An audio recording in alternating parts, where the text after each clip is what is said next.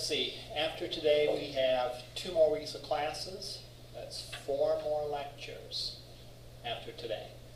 Um, what I plan to do is not necessarily go the full distance because we're in a good um, point as far as material goes, but give you plenty of time to work finishing up your assignments and have a few activities for things that aren't necessarily a graded assignment, but would be um, interesting things for you to review. I'm going to look at the book today. I'm going to point out a few things in the book um, that I've not lectured on, but are valid things for um, possible activities next week. Does anyone have an iPhone, by the way?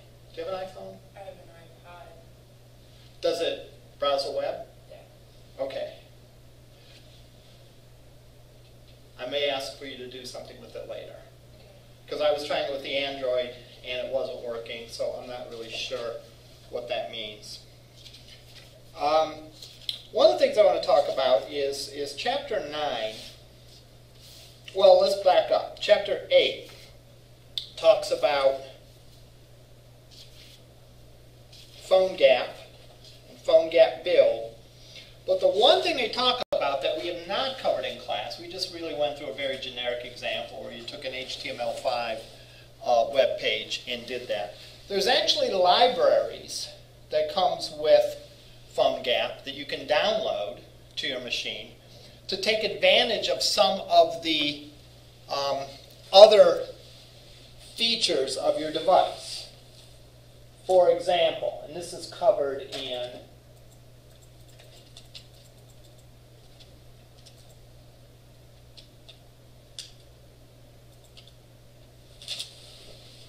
This is covered in chapter 8, the PhoneGap uh, chapter.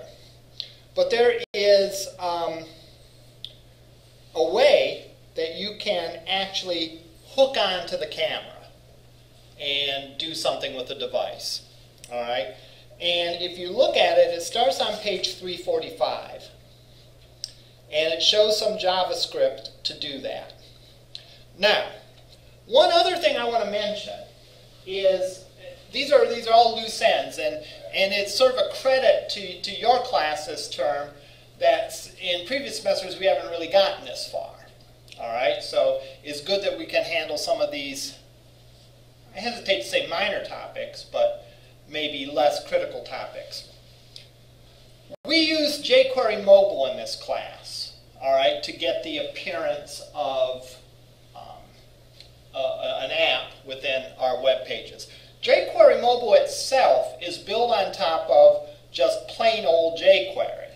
All right? Is anyone familiar with what jQuery is? We know what jQuery Mobile is. We know that jQuery Mobile is built on top of jQuery. But what does jQuery do? Well, I'll tell you. jQuery simplifies some common JavaScript functionality that you may do. So again, sort of in in painting the, you know, in setting out the direction over the first over the next couple weeks of class, one of the things we may look at, and one thing I would encourage you to look at on your own, is look at jQuery stuff because jQuery allows you to write JavaScript more quickly, easier, however you want to put it. Sort of a framework for JavaScript, if you will. All right. Um, but if you notice, I'm starting on page 345. And if you look at the code on 346, the code on 346 is actually using sort of the jQuery aspects of jQuery mobile. But what in essence, what this section is doing, and we'll review, and again, we might have an activity for it, it would be fun to sort of experiment with this, is to allow you to tap into your device's camera via a PhoneGap library. All right? So they talk about on page 345 the PhoneGap JS, which is a file that you can download from PhoneGap and you can use the API to go and do some things like use the camera and so on. So it starts on page 345 and it goes to the end of the chapter, I believe. Yeah, it goes to the end of the chapter. That might be something we will look at doing as one of the, I'm thinking of sort of like activities to do instead of lectures over the last few weeks of, of class. That's one activity definitely that could be on the horizon. Chapter 9 talks about how to be future friendly. All right?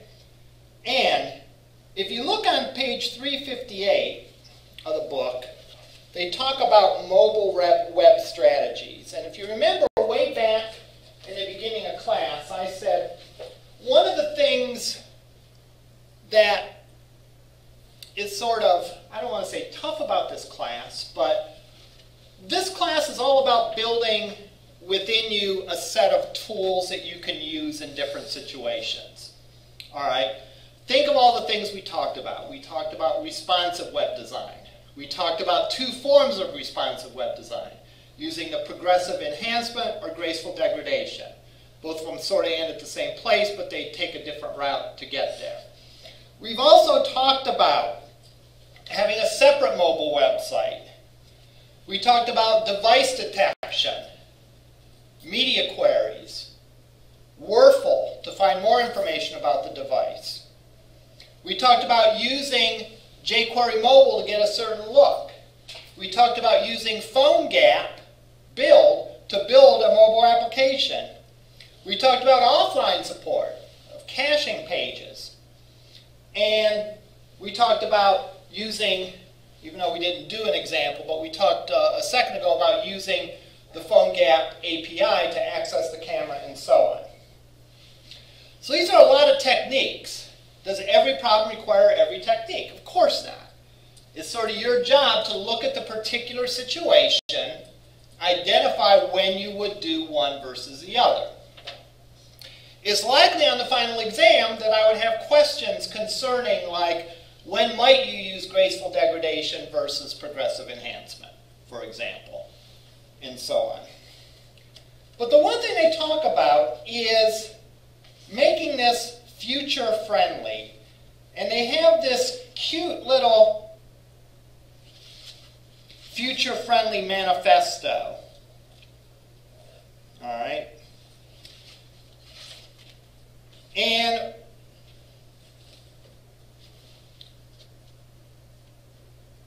what they're trying to do is develop sort of a mindset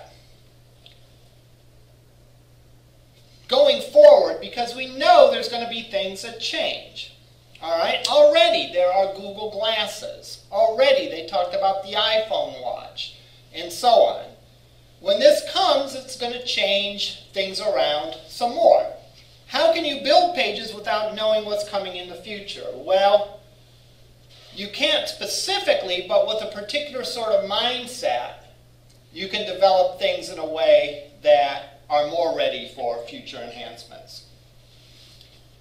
One of the things they said is, you know, and there's a beautiful chart on page 367 that talks about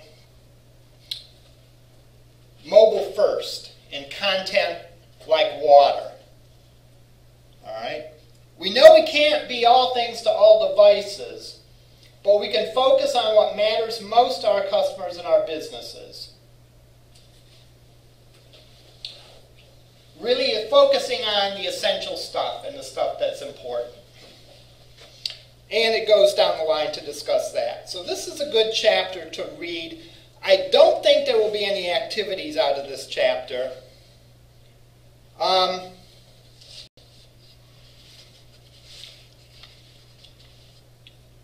So yeah, we probably won't hit um, any activities, but that is a good one to read.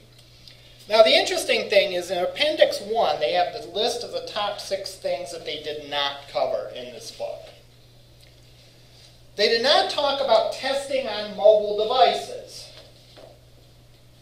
We did that sort of, right? I brought different mobile devices, but if you notice, if I'm not mistaken, all the mobile devices I brought to class were Android devices. All right.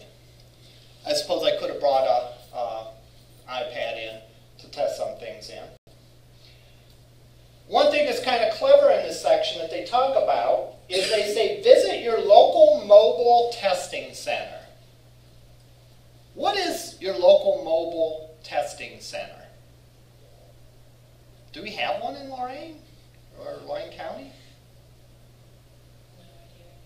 No idea? Well, they're just trying to be clever. What they're saying is, is go to a mobile phone store and pick up and try to visit your site with an iPhone, with an Android, on the guys that you're shopping for a phone. You know, you'll have to, uh, you, you know, you might have to scare away a sales rep, but that would be one way that you could go and you could test your your uh, uh, website on different devices. There are remote testing services. And there are where you can do some tests online. There's even these, uh, there is even a version of these for just plain desktop websites where you can go and it will show you um, what your site would look like on a variety of different devices. We did talk about the emulator. The emulator is good, but it only sort of takes you so far. Really, to do a true test, you want to test on a variety of platforms. The last thing they talk about is important, and that is to prioritize your testing. All right? There will always be stuff that you didn't think of, and there might be potential issues on obscure platforms. All right?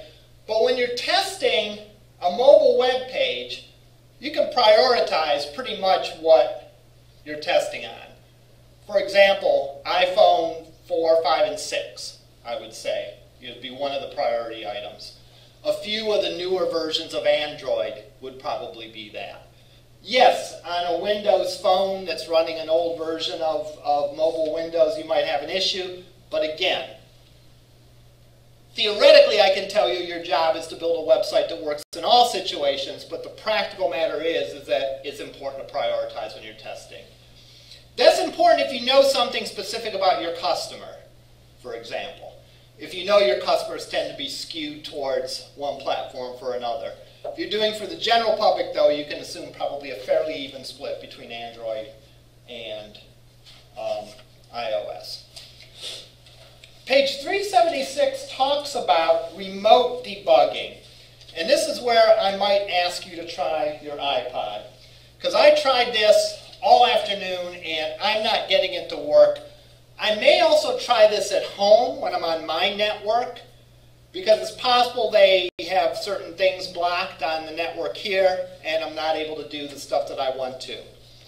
But debugging on a mobile device is difficult. Both an app and a web page. It's much more difficult to do that than it would be to do that on a desktop device. All right? So what they allow you to do with this uh, remote debugging um, is to go to a desktop site that can set parameters on your mobile device. Let me show you how this is supposed to work, and we'll see if it does work this way. This is covered in page 376. And if I can find any success at all with this, this will definitely be an activity we'll do over the um, next while.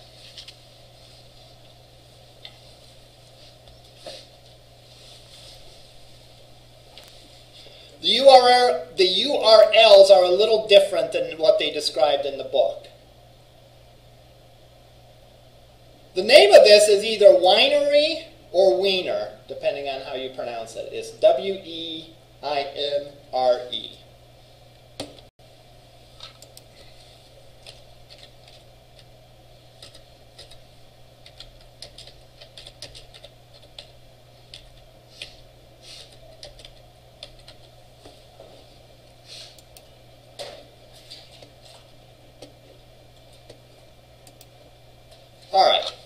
This is a page for it, Web Inspector Remote. Now, this is supposed to be the page that you can go to. Now, you can set up a server on your own, or you can use their free public server. All right? What I'd like you to do is go to this website. I'll put the URL up big so that you can see it. This is the Minify demo? Yeah. Do you have it already? Yeah, it's up. Okay, good.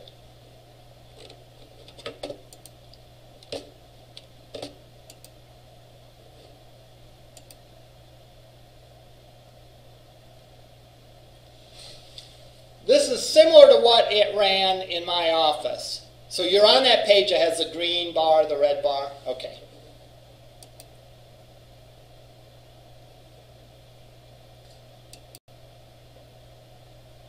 There's a slice of code that contains JavaScript that is supposed to connect it to this server. So I should be seeing the device here. But clearly we're not. Let me give my phone one last shot at this. If I can find that.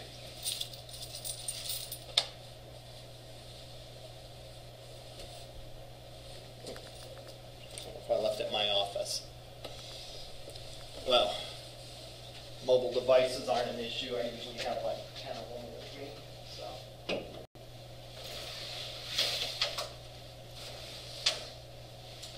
I'm getting the same thing on there too. You want to be on the client page though, not, not this page. You want to be on the one that has the, Keyboard client user interface. uh, the one that says, uh, the minimize or non-minimize. Either one of them should be okay. Either the minimized or, or not minimized. Well, minimize came up. But the one that you're on now isn't. Yeah, um, that, this one definitely won't, won't work. So.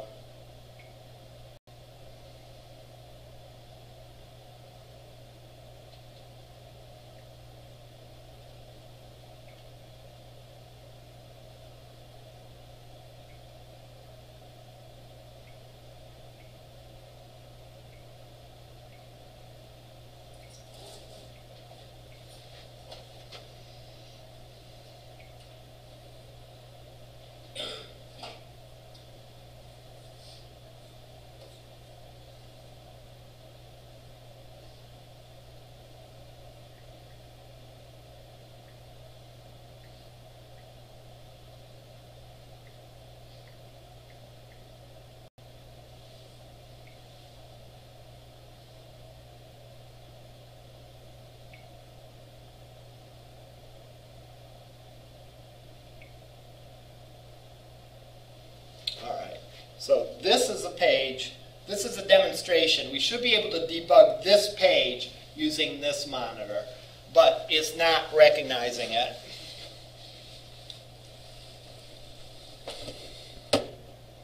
And I hit refresh.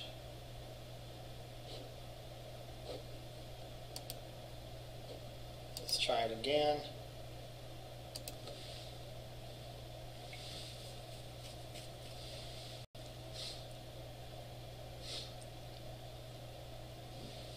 No luck. I'm going to try this at home to see if there's some quirk with our network that's keeping it from working. The idea is, is you should be able to, some documentation on it, you should be able to go in, and if this is the, the, the web page running on a mobile device, you should be able to go in on the desktop client and manipulate attributes of it to go and change some things here. So it's sort of a way to say if it's not displaying the manner in which you expected it to, you could go into this Weinre server, connect your device to the to, to that, connect your server to your device, And then you can look at and debug that way by changing settings and, and that until it works. So I'm not really sure why it's not working. I'll do some uh, investigation on it. If I can find uh, a way to get this to work, we'll definitely have this as, uh, as an activity. Um, so, so far the two activities I like to do would be the PhoneGap, integrate a camera into the web page, and this as a debugging tool.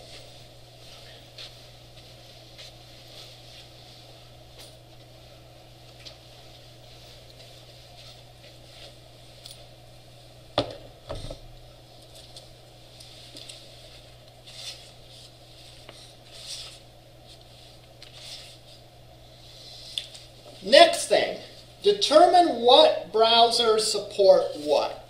This is good advice for any web developer, not just people in a mobile context, but it's good for anyone. There's a great website called Can I Use?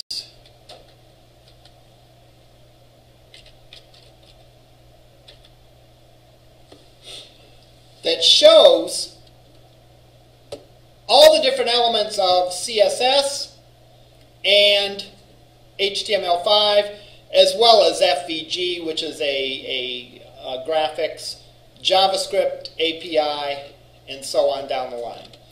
So, for example, can I use a canvas in HTML5? A canvas in HTML5 is like a little area that you can draw on. It's for animation and other things. So if I click on canvas, it will show me the versions that support it. All right?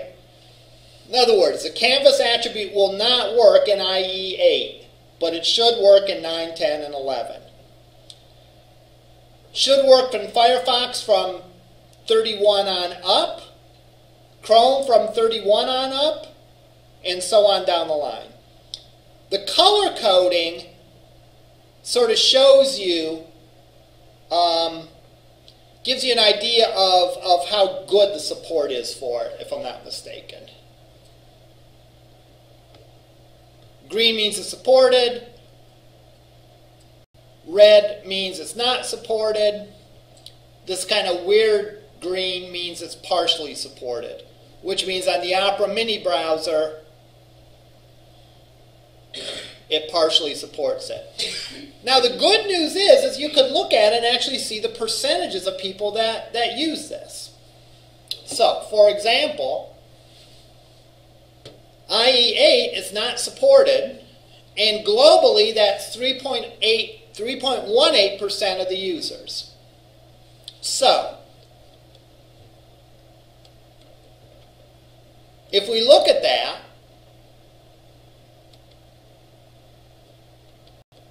This doesn't add up to 100% because I'm sure there's some oddball browsers out there that um, they don't include in the totals. But if you use the Canvas basic support, 90% of the users are running a browser that will support it. Now, you have to decide, is that a big deal? What can you do if they don't support it? Well, you have a number of options, and we learned about the device te uh, uh, detection techniques and so on that you could use to possibly show them different content. Uh, let's find another one. Um, form validation.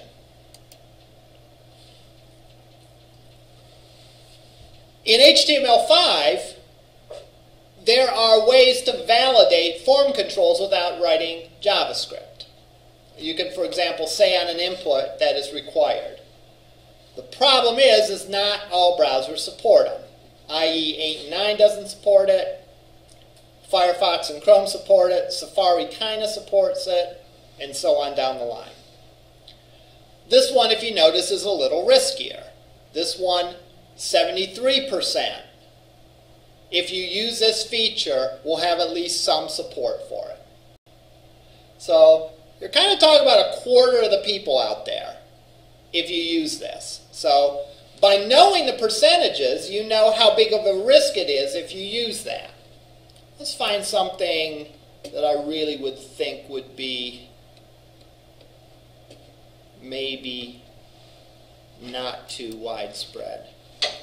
Oh, that's about the same, 74%.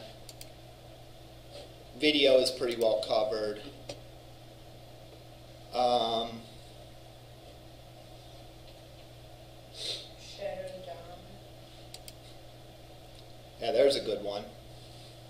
Maintain method for establishing and maintaining functional boundaries between DOM trees and how these trees interact with each other within a document, thus enabling better functional encapsulation within the DOM. That's going to be on the final, so I hope you have that memorized. I'm just kidding about that. Notice that again, this one again, only 40, uh, 46% of the browsers support it. So if you were using that, then you probably don't want to um, you, you, you're liable to have difficulty with that. And there's CSS stuff too, putting box shadows on there, 90%.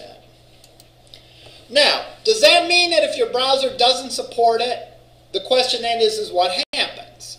Does it degrade gracefully? In other words, if I try a box shadow in CSS and it doesn't work in a particular version of the browser, IE 8, what happens? Does your page blow up? Is your page unreadable? Or does it just not look as pretty as it does in the newest version of IE or Chrome or whatever? That's something that you can test as you go and go back. But in order to test this, you have to know what you're up against. All right? And you have to know what your priorities are for support. Um, and and uh, you know if you know something about the population of your users, then you can you can tell based on this browser chart some good information as well. If not, you can just go with the basic percentages that they show here.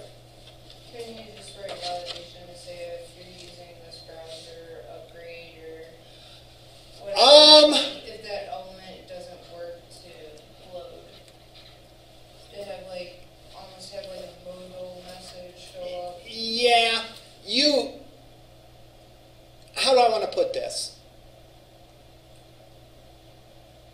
It's my opinion you shouldn't require someone to upgrade a browser.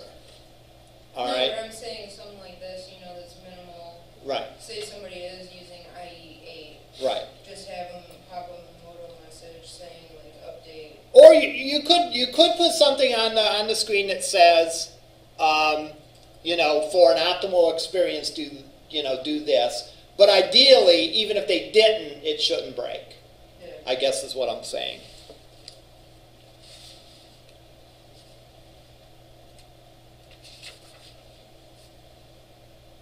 Device APIs, we're going to sort of skip that.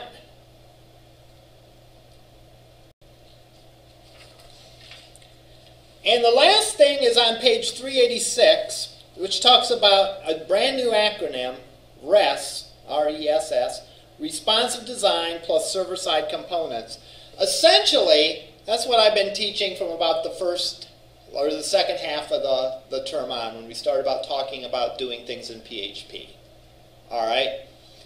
Um, that's one inadequacy I think is found in this book. Is this book does a really good job talking about responsive techniques, but it doesn't talk about in any great detail some cool stuff that you can do on the server side. All right, that can um, address the issues that you have with mobile websites. Things like doing an include file, things like using WURFL. I mean, I guess it does talk about that, but in my mind, it could go further. Again, the point being that all these different things that we have are tools in our toolbox. All right? And it's your job to look at a given situation and decide what's the best mix of these tools to, to use. You shouldn't do something because you know that code better, if that makes sense. In other words, you should look at something and say, I'm going to code this via PHP because I'm more comfortable with PHP than I am with CSS, or I'm more comfortable with PHP than I am with JavaScript. Um, and I, I've heard and I've seen developers take that approach. I don't think that's a good approach. Your approach you should take is the one that works best for the particular problem that you're facing. All right. So if a problem that you're facing is best addressed via JavaScript, then you do it via JavaScript. And if you are weak on it, they'll give you an opportunity to practice it some. All right. But at the very least, you should be familiar with the tools and have a basic understanding of them so that you can build on them. All right. So over the next couple weeks, we'll have probably, uh, instead of lectures, we'll probably have sets of little mini activities. And I do want to give plenty of time to um, wrap up um, the work that you're working on. All right? Any questions? All right, let's head down the lab.